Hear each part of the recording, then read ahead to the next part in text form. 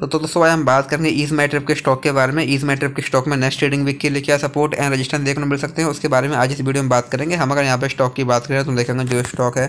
ये हमको पहले यहाँ पर लगा था क्लियर अब डाउन ट्रेड में देखने मिल रहा था, हमको यहाँ पर स्टॉक में लगा था लोअर लो लोअर हाई वाला पैटर्न यहाँ पर देखने मिल रहा था। लेकिन अभी रिसेंटली हमको यहाँ पर स्टॉक में एक यहाँ पर रिकवरी देखने मिल रही थी, लेकिन आज हमको यहाँ पर स्टॉक में again two point five seven percent की यहाँ पर गिरावट देखने मिल रही है। अच्छी बात यह है कि गिरावट के बावजूद जो स्टॉक है, यहाँ पर अपने सपोर्ट के ऊपर यहाँ पर टिका हुआ है।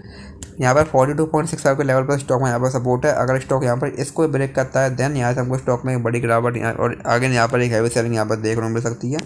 अगर स्टॉक ने यहाँ पर इसको ब्रेक किया देन यहाँ से हमको स्टॉक में फोर्टी पॉइंट टू फाइव इसके बाद हमको यहाँ पर स्टॉक में thirty seven point six zero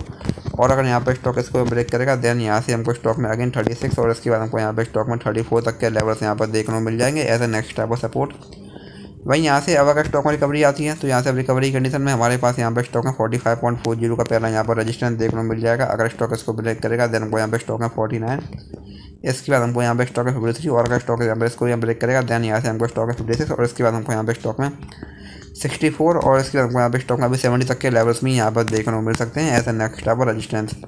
तो ये स्टॉक में कुछ इंपॉर्टेंट लेवल्स हैं, आप इन पर ध्यान दे सकते हैं। बाकी वीडियो में कोई बाई सेल होल्डिंग इस सलाह नहीं है। वीडियो केवल एजुकेशनल पर्पज़ के लिए धन्यवाद।